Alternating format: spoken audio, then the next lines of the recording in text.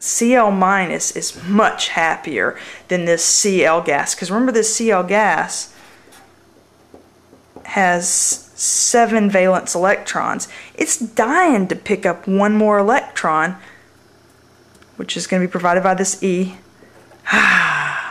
now that Cl minus, we've added in an electron, has its complete octet, eight valence electrons, and it's going to be very stable, so it's actually exothermic. It's going to release energy going from the chlorine atom to the chlor chloride anion. And again this is in the gaseous state so we put the G there.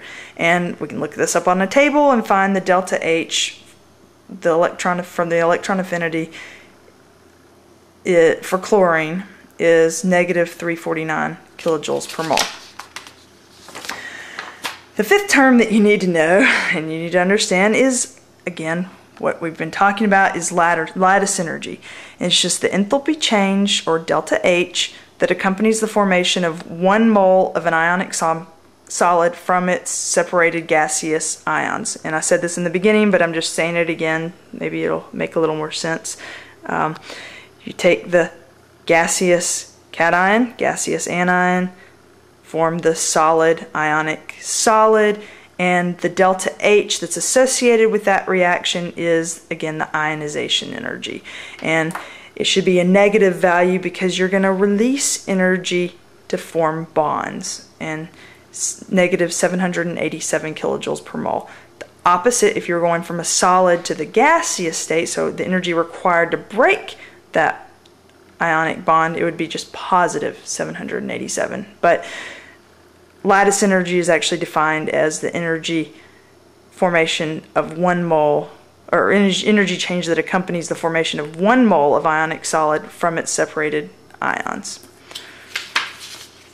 And then finally, we need to understand the standard enthalpy of formation, which is again something we can look up on a table. And it's when you have the actual standard. So this little circle means standard. So it's at a given temperature and one atmosphere.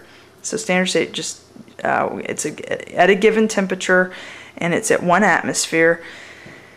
And the formation, that little F, means you're forming one mole of a substance from the reference forms of its elements in their standard states. So sodium is in its standard state, meaning what's its naturally occurring state? Well, it's normally a solid. Remember, it's a metal on the periodic table. And chlorine, we know it's a diatomic element. That's its natural state, and it's a gas. And since we only can form one mole of this, we actually use a um, one half or a fraction. So, you know, you said, hey, wait, we learned how to balance equations where this would have, would have multiplied the whole thing by two and said two sodiums plus one chlorine gives two sodium chlorides. But the definition for the standard enthalpy of formation of sodium chloride is starting from, is to make only one mole of sodium chloride. So in this case, you'll see fractions in your chemical balanced equations. So you look this up on a chart and you said, okay, the standard enthalpy of formation of sodium chloride is negative 411 kilojoules per mole. And so now you say, what does this have to do to the, with the Born-Haber cycle? I'll show you. All right, so I have a typical problem from a general chemistry textbook asking, what's the lattice energy of magnesium fluoride solid given the following information? The enthalpy of sublimation is positive 4 146 kilojoules per mole.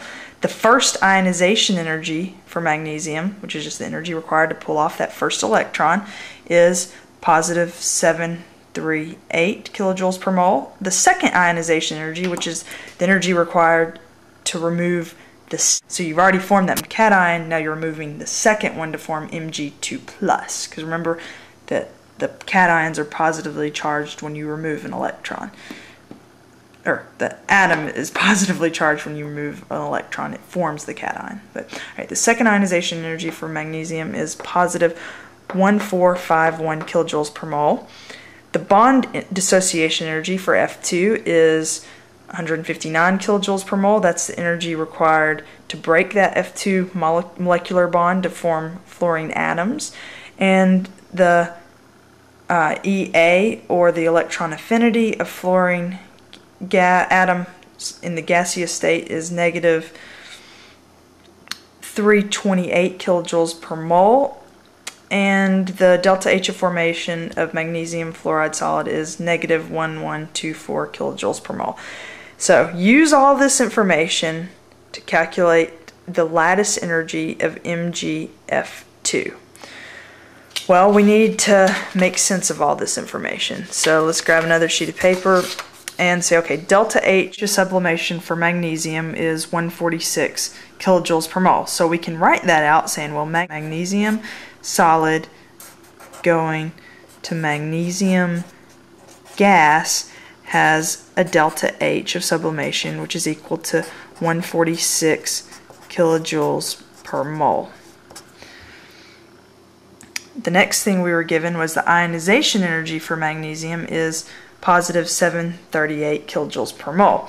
We have to remember ionization energy is the energy required to remove an electron from that magnesium in its gaseous state, so we can draw magnesium in the gas and then the energy required to remove an electron would form Mg plus and one electron. And the delta H again is given the, as the ionization energy for magnesium. The first ionization energy was 738. So delta H is 738 kilojoules per mole. We're also given the second ionization energy for magnesium. Well, that's the energy required to remove an electron from an Mg plus in the gaseous state, which would give you Mg2 plus plus one electron. So the delta H is equal to, and this was given in the problem, 1451 kilojoules per mole they're all kilojoules per mole. Okay, 145. Now we should always put our units. Kilojoules per mole.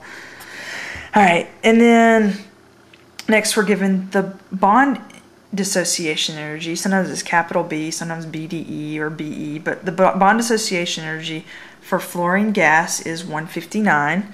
So what is bond dissociation energy? Well, that's the energy required to break the F2 molecule into the atoms. So 2F gas. Again, remember if you can imagine that Lewis structure of fluorine, you broke that single bond and now we formed two fluorine atoms and the delta H is 159 kilojoules per mole.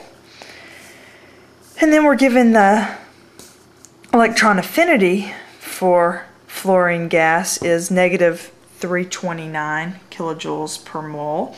And that's just the energy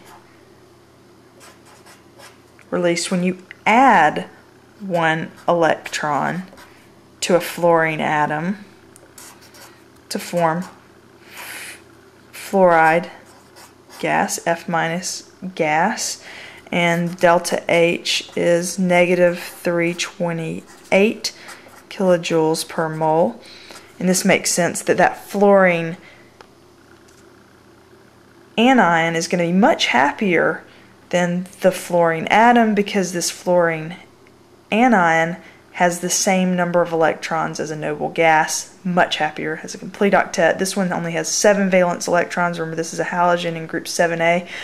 It's once one more, it picks it up to form F minus gas and it releases energy in the process. And that's the electron affinity for fluorine. And then now, the last thing that we were given was, or we're trying to find, or okay, the last thing we were given was the delta H of formation of magnesium fluoride. What does that mean? Well, it's the amount of energy it's actually released because negative 1124 when you form magnesium fluoride from its elements in their standard states. So That is the delta H of formation of this solid from its elements in their naturally occurring state.